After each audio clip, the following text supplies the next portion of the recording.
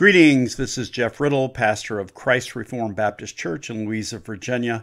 This is another in this occasional series of readings from and brief notes and commentary upon Eusebius of Caesarea's The Ecclesiastical History.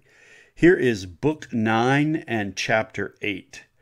The customary rains, indeed, and showers of the then prevailing winter season were withholding their usual downpour upon the earth and we were visited with an unexpected famine, and on top of this, a plague and an outbreak of another kind of disease. This latter was an ulcer, which, on account of its fiery character, was called an anthrax. Spreading as it did over the entire body, it used to endanger greatly its victims. But it was the eyes that it marked out for special attack, and so it was the means of blinding numbers of men as well as women and children.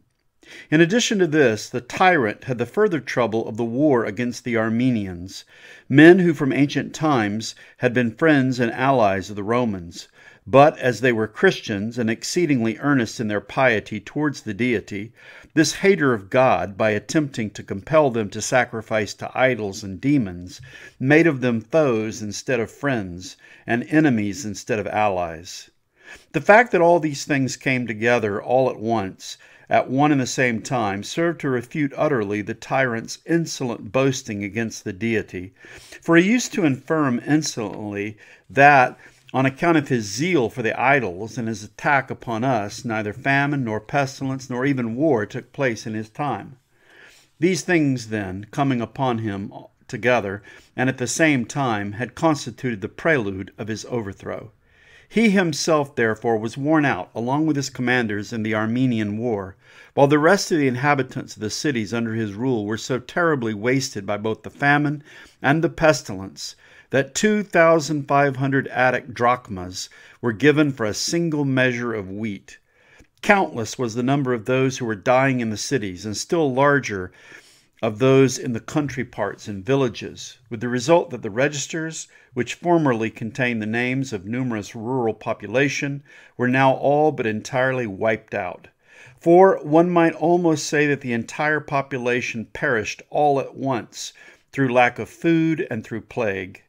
Some, indeed, did not hesitate to barter their dearest possessions for the scantiest supply of food with those better provided. Others sold off their goods little by little and were driven to the last extremity of want. And others again injured their bodily health and died from chewing small wisps of hay and recklessly eating certain pernicious herbs.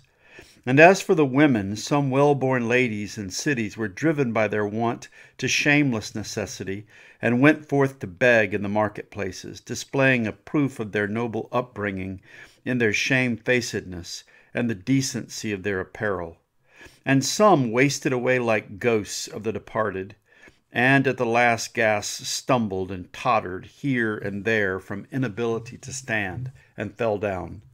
Then, stretched out prone in the midst of the street, they would beg for a small morsel of bread to be handed them, and, with the last breath in their body, cry out that they were hungry, finding strength for this most anguished of cries alone. Others, such as were regarded as belonging to the wealthier classes, amazed at the multitude of beggars, after giving countless doles, henceforth adopted a hard and pitiless frame of mind, since they expected that before long they would be suffering the same misery as the beggars. So that in the midst of the marketplaces and alleys, dead and naked bodies lay scattered here and there, unburied for many days, presenting a most piteous spectacle to those who saw them. Some actually became food even for dogs, and chiefly for this, this reason, those who were alive turned to killing dogs, for fear lest they might become mad and turn devour, to devouring men. But worst of all, the pestilence also battened upon every house, especially those whom the famine could not completely destroy because they were well provided with food. Men, for example, in affluent circumstances, rulers and governors and numbers of officials, who had been left, as it were, of set purpose by the famine for the benefit of the plague, endured a sharp and very speedy death. So every place was full of lamentations. In every alley and marketplace and street there was nothing to be seen but funeral dirges, together with the flutes and noises that accompany them. Thus, waging war with the aforesaid two weapons, pestilence and famine, death devoured whole families in a short time, so that one might actually see the bodies of two or three dead persons carried out for burial in a single funeral train. Such were the wages received for the proud boasting of Maximin, and for the petitions presented by the cities against us, while the proofs of the Christian zeal and piety in every respect were manifest to all the heathen. For example, they alone, in such an evil state of affairs, gave practical evidence of their sympathy and humanity. All day long, some of them would diligently persevere in performing the last offices for the dying and burying them.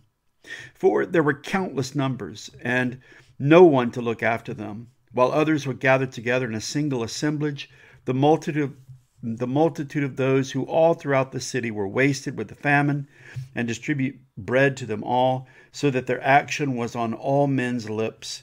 And they glorified the God of the Christians, and convinced by the deeds themselves, acknowledged that they alone were truly pious and God fearing. After these things were thus accomplished, God, the great and heavenly champion of the Christians, when he had displayed his threatening and wrath against all men by the aforesaid means, in return for their exceeding great attacks against us, once again restored to us the bright and kindly radiance of his providential care for us most marvelously as in a thick darkness. He caused the light of peace to shine upon us from himself and made it manifest to all that God himself had been watching over our affairs continually, at times scourging and in due season correcting his people by, by means of misfortunes, and again, on the other hand, after sufficient chastisement, showing mercy and goodwill to those who fix their hopes on him. Here ends Book 9 and Chapter 8, and we'll move on to some notes and commentary. This chapter describes a time of famine and plague and even war that came after the renewal of persecution of the Christians under the tyrant Maximin. First, there was a drought that led to an unexpected famine, and after that, a plague. Eusebius says that the plague came in the form of a fiery ulcer, which he describes as an anthrax. It especially attacked the eyes and blinded many. In addition to famine and plague, there was also war as the tyrant attacked the Armenians, formerly ancient allies of the Romans who had embraced Christianity. Eusebius sees all these events as divine retribution against the boasting of the tyrant against God and the faith, since he had claimed that his worship of the gods would protect him from such calamities.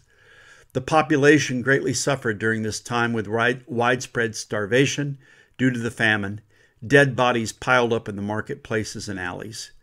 The plague came on top of this, so that in every place uh, it was full of lamentations.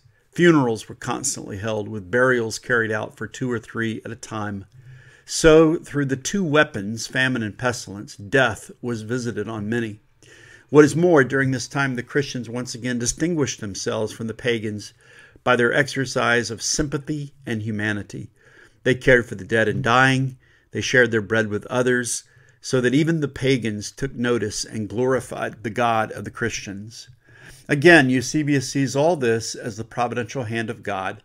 From a thick darkness, the heavenly champion of the Christians, God Himself, caused the light of peace to shine once again upon them.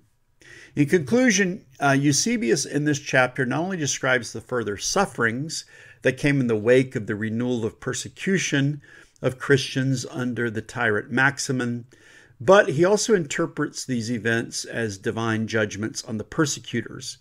It is noteworthy that Eusebius says the Christians were particularly praised for their ethics. Soon the suffering would end and Christianity would be embraced, and it would triumph in the Roman world. Well, this brings this episode to its conclusion. Hope that this has been helpful for those who are listening, and I will look forward to speaking to you in the next episode. Till then, take care and God bless.